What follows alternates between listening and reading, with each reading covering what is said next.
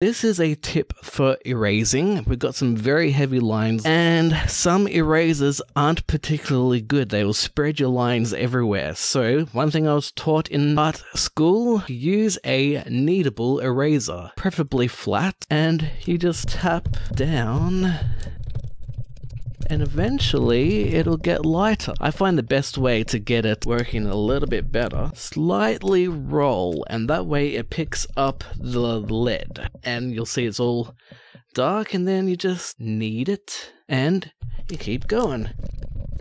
And that's a better way of lightening your If you'd like to see what this looks like when it's finished, I'll try and put a link down below. But this is a shorts brought to you by Beanie Draws. Don't forget to subscribe and all that fun stuff.